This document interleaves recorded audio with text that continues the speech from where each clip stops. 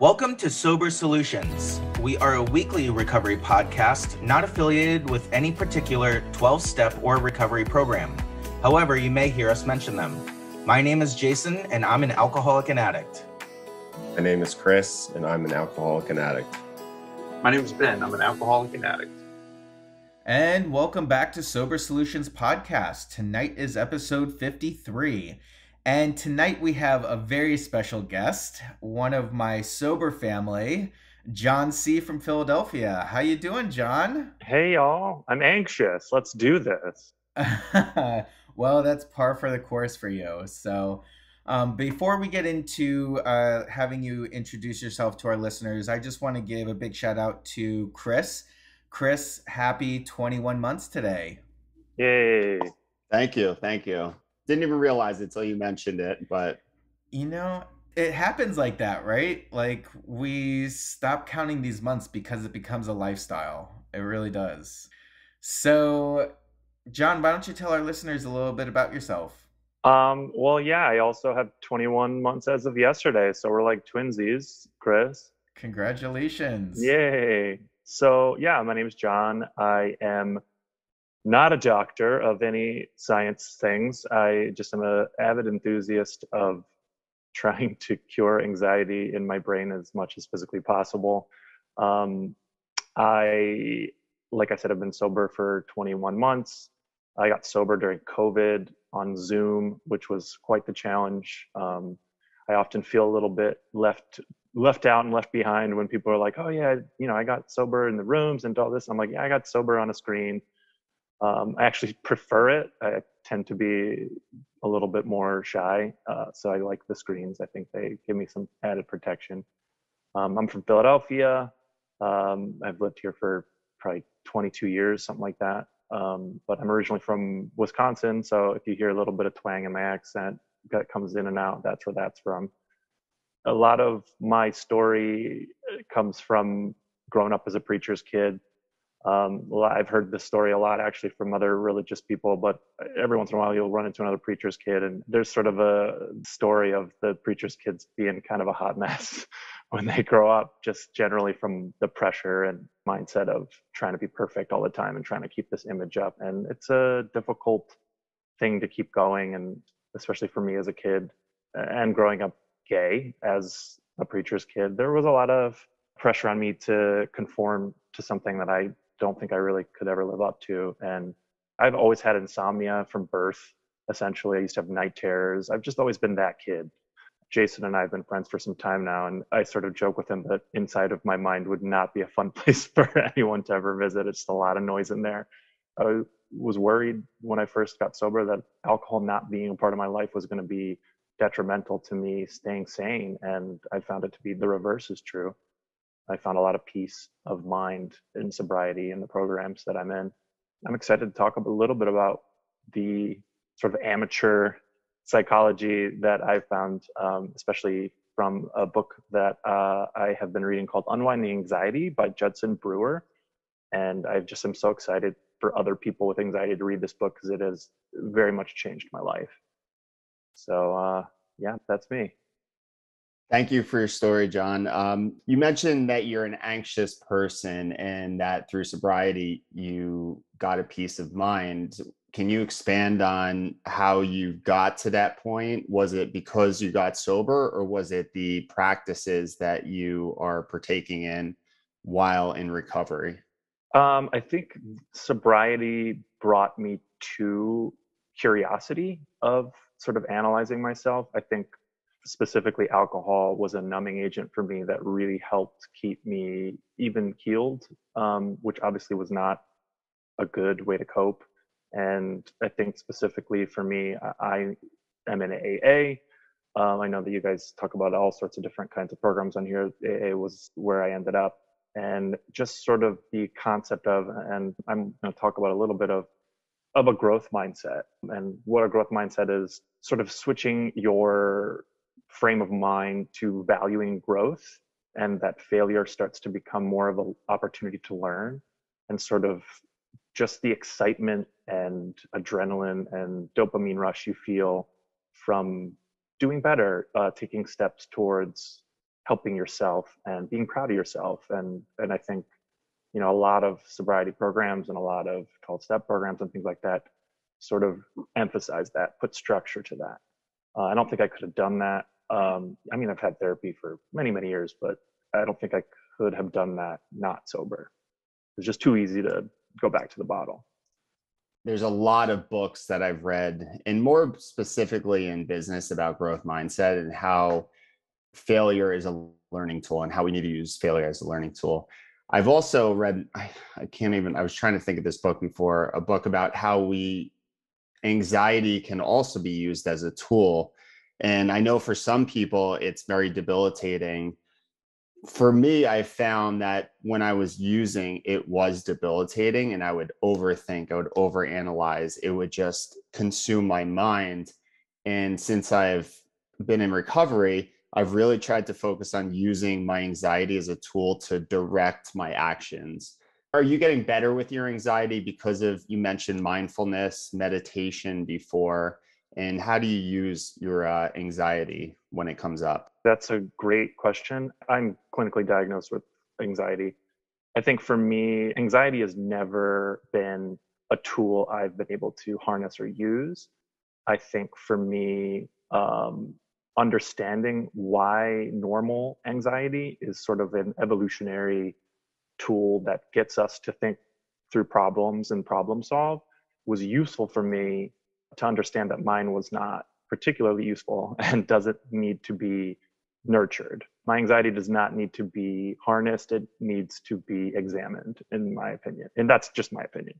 Um, and I think that was helpful for me because it allowed me to sort of take the emotional aspect out of it. So you're thinking, man, everything stinks. You know, you get into this really negative mindset and you take a step back and you say, you know, why am I feeling this? What's really going on here? And just the action of stepping away from your anxiety it's called like an anxiety loop. You get stuck in sort of a feedback loop of anxiety where you're just not really going anywhere. It's not helping you solve any problems. Um, i think for me it wasn't necessarily harnessing that as a tool. It was sort of stepping away from it to see what's really going on and then sort of digging a little deeper into like what am i feeling? What am i thinking? What's the problem? Let's solve it in a different way. In my brain anxiety is just like a, a, bag of screaming squirrels. It's not something I want to use. It's something I want to put aside and examine why it's happening. So we keep using this word tool, and I want to go back to a comment that was made earlier about how we can use failure as a learning tool. And I wish I did that because as it relates to recovery and sobriety, failure equals relapse for me. And relapse is such a huge part of my story I wish I learned from it. I wish I used that as a tool to finally get me to where I needed to be. And partly I did. You know, I think I learned a little bit more each time that I failed. But what other tools do you use? I know you mentioned mindfulness and meditation. What other tools and how do you differentiate between mindfulness and meditation? Again, want to reiterate I uh, am an amateur, so please consult your local therapist if you want to talk about mindfulness or, or do some research. But for me, one of the first things that really help, and a lot of people have talked about this on your show and, and out there in the world, is exercise. And anxious people will tell you time and time again, like there's this just vibration of energy that you can tire out.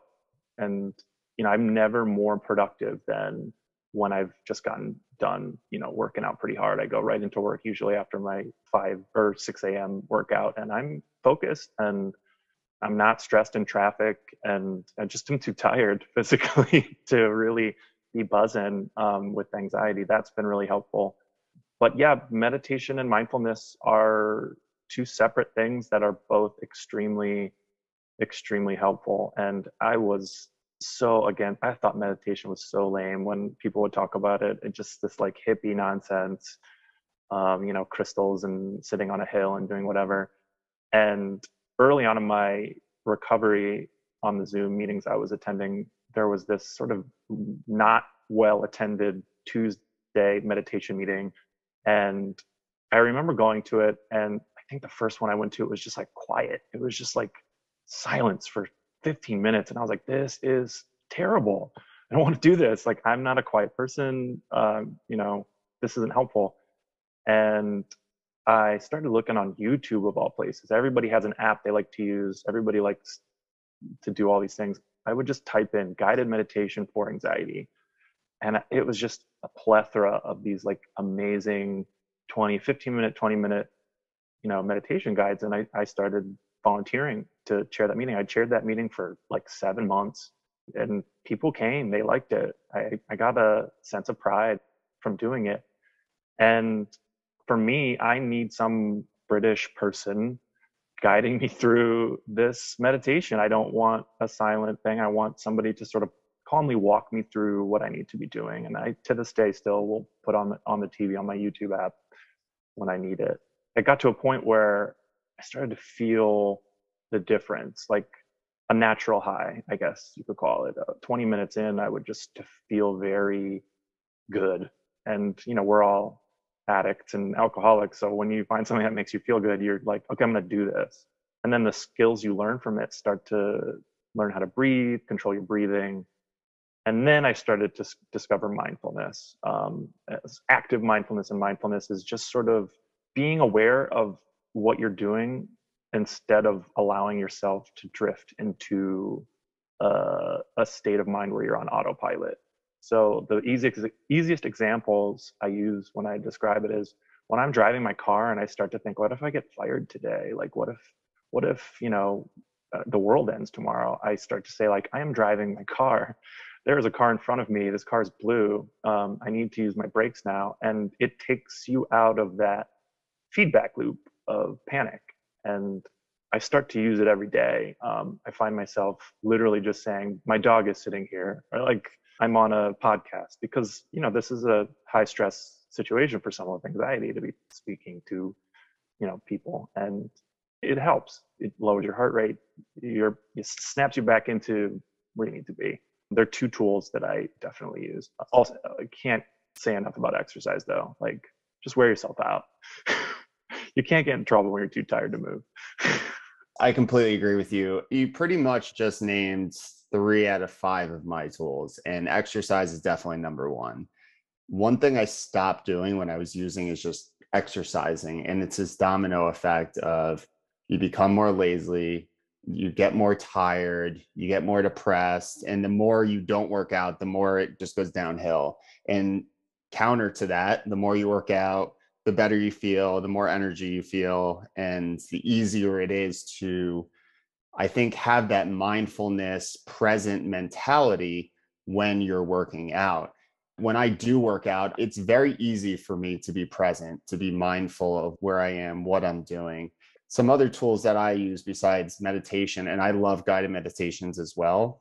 I'm not smart enough to literally meditate by myself or have enough practice, I'll say, but love guided meditations. Jason and I actually met and then we just started going to meditations in the morning at rehab which i don't think there's ever been a person that left a meditation was like i really wish i didn't do that today i think the only other tools that i use are i talk to people a lot and i drive a lot so when i'm in the car i pretty much have 20 or 30 numbers that i just cycle through and that takes me back to being mindful. And really in my opinion being mindful is really about being present.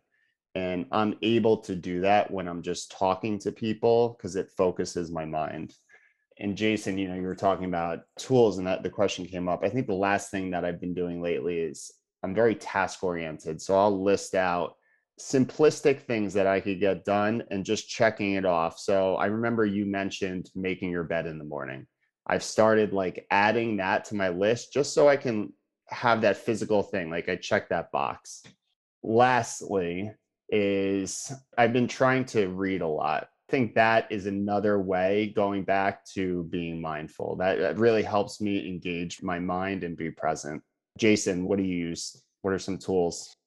You both named exercise. I can physically feel myself like not just getting anxious, but like jittery. And if I have too much of that energy built up now, I have started yoga and a regular yoga practice to take me out of that worrying state and just like both of you were talking about focusing on specific things and even if i can't do the pose that the instructor is telling us to do i try my best and i try and focus on my form just like i do at the gym and that gets me to be present. And chris i echo what you were saying talking to other people. And i think that helps like it does in a meeting or talking to you, John, or talking to you, Chris or CJ, or my sponsor, or even my partner who has over 10 years of sobriety. And he understands my anxiety and I understand his anxiety. And so we get the ability to work with each other in conversation and through conversation. You know i really think that's something that is really underrated as a tool It's just talking to someone. I, I, think that's why i share in meetings is i'm thinking about something i'm focusing on something and i need to get it out. And that is a huge tool that i use to get rid of my anxiety so i want to go back to this book unwinding anxiety by judson brewer so tell us a little bit more about that book and some of the pearls that you pulled out from it so this book was given to me by my mother, which uh, whenever my mom sends me a book, I'm always like, great, this is going to be terrible. It was a great book though. Basically, it is sort of a very easy to read breakdown of the science kind of behind anxiety and, and our brains and how they function. It sort of takes the emotional part out of it and just gets into the less clinical but more layman terms of anxiety in our brains.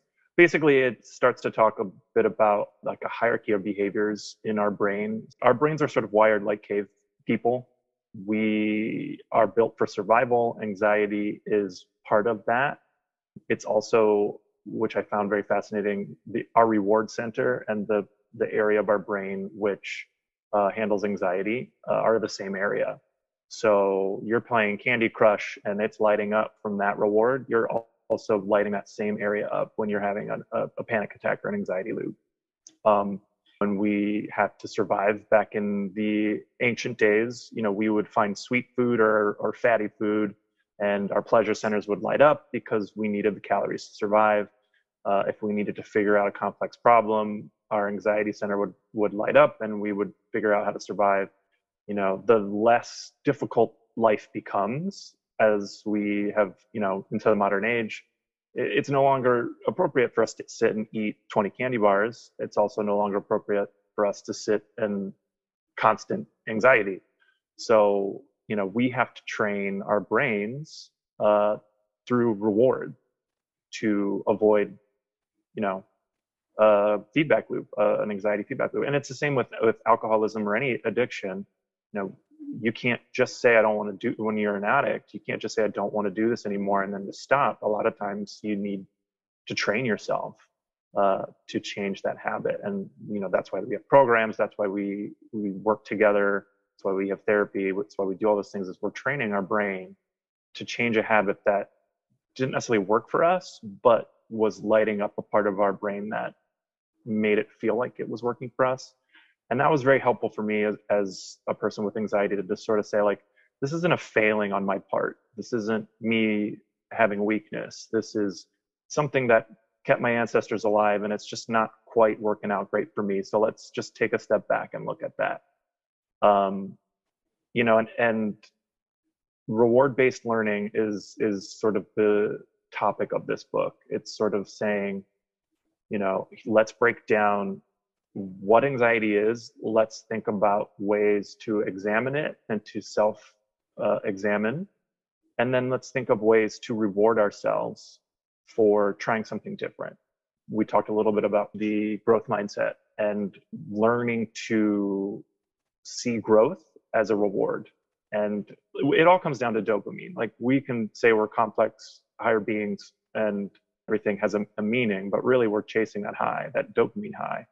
And feeling like a complete person little by little makes us feel good. And so i can sit here today and say hey i'm on a podcast about anxiety. And you know two years ago i was spiraling into the abyss. Like that makes me feel good. I'm going to keep doing that. And maybe you know next year i'll teach a, another uh, a meditation class and that'll make me feel good and all this is doing is teaching us habits that get us out of our head and doing things that are are helpful and healthy for us. Does Judson Brewer go into addiction? Is it based around addiction or is it really based around just reward based thinking and that process? It touches on it. Um, he is constantly referencing other colleagues that he works with. And one of them is an addiction specialist. Talks about food addiction. It's not about addiction, but it's so close and adjacent that it's like you can tie it to it very easily. I mean, thinking about specifically, I'll speak on AA, giving out coins. I mean, I'm all jazzed to get my coin. Like, my sponsor got me this really cool coin. I have it a little like velvet case. It's really awesome. That's a reward based learning tool. Like, I don't want to take away from from how cool it is, but it's like it's the toy and the and the happy meal like you really want that toy. Is the is the tiny little burger worth it? Like no you want that cool power rangers toy. We learn as human beings reward equals you know something good. And so it works with recovery it works with addiction it works with anxiety it works with all sorts of things. Same thing with exercise. You know you get a dopamine rush from exercise you get a different shaped body maybe um, you get praise from other people, you get attention. Like these are not fully altruistic things that we're doing, but the reward changes how we think and feel about them. I think it's interesting that you said we chase that toy, and I agree, it's the Happy Meal toy.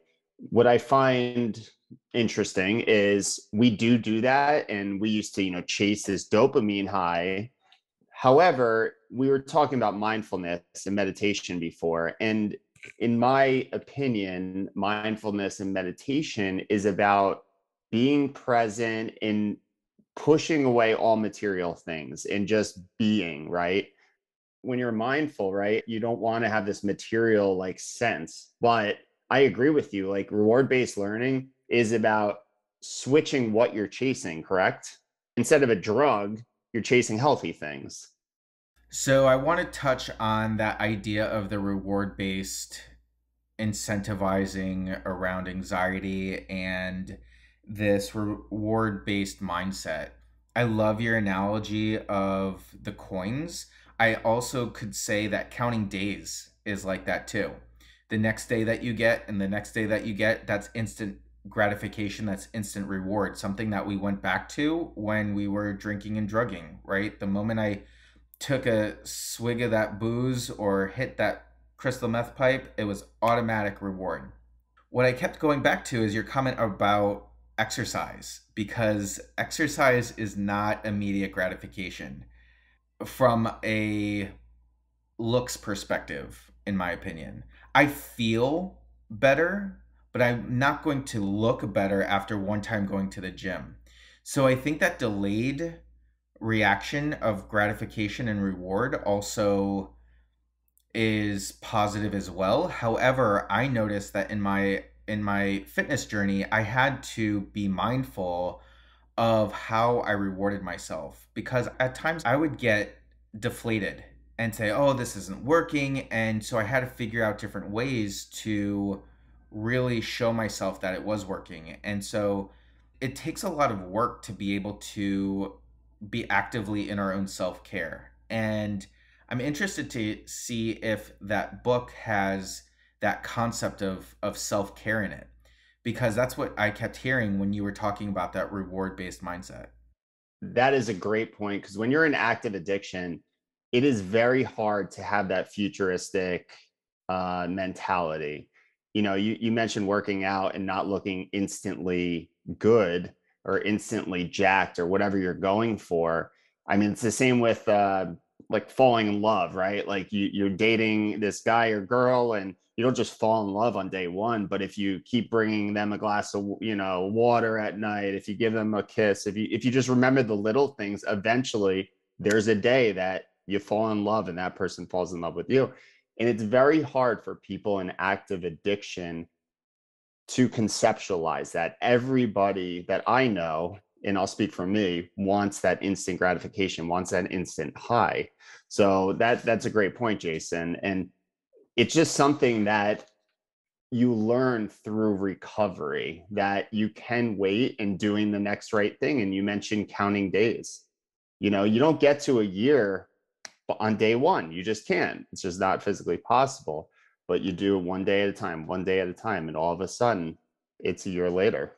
I think um, to sort of jump on what both you are saying is, you know, like, okay, so I'm not seeing results with exercise right away. I think one of the really amazing things about being in a program, whatever program that might be, is that you're just kind of attacking it from like 20 different angles at the same time. You're constantly being told, do this, do that, do this, do that. It's never just one thing. It's always like, you should try this, you should do this. And you're trying 20 things at once. And eventually one of them feels good at that moment. So, good example of that is I hate exercising or I hated exercising. I also have uh, chronic insomnia. Within a day or two of starting to work out, I was so tired I was sleeping better. That was enough to get me up the next day. Same thing with mindfulness and meditation. It's boring to sit quietly, even if you are just listening to somebody tell you you're in a waterfall and your, you know, spirit uh, guide is a bird. Like that's not interesting or cool, especially for someone with a really busy brain. Within like two or three weeks, like I said, I got that really weird sort of rush of peace. It felt very chemical, if I'm honest with you. I don't mean to trigger anybody, but the first time that that happened, I was like, that was nice. And the first time I had a panic attack and I went to that and was instantly calmed, I just felt less panicked. And for someone who has an anxiety disorder, feeling less panic is a reward. Uh, I'm sure somebody out there is listening and knows what it feels like to be in the middle of a work day, have to get up and leave your desk immediately um, because you, you feel like you're kind of dying.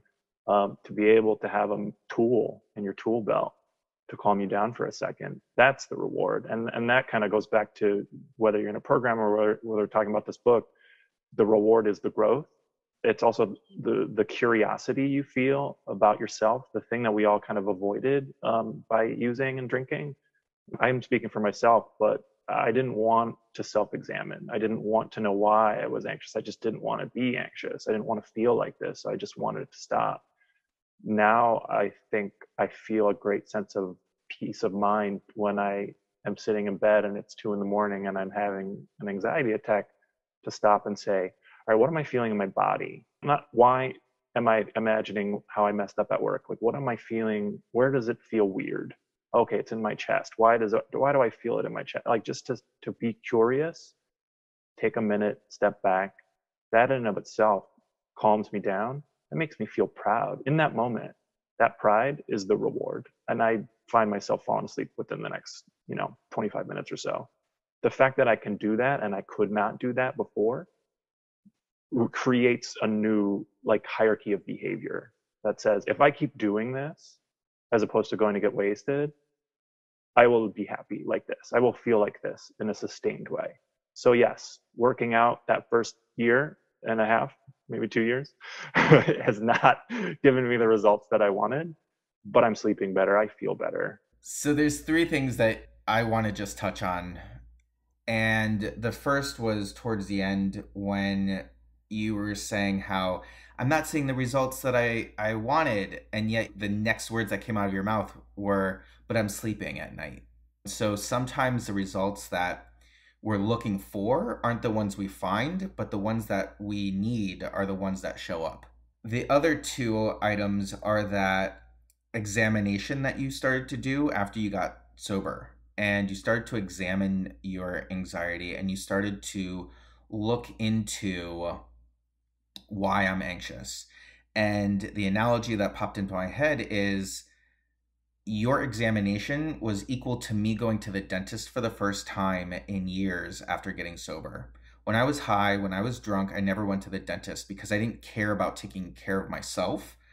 Your examination of why I'm anxious was you taking care of yourself, that self care aspect of it. And then I really applaud you for the healthy substitute that you've made because when you just said, Gosh, I remember the first time that I got anxious and I went right to a meditation.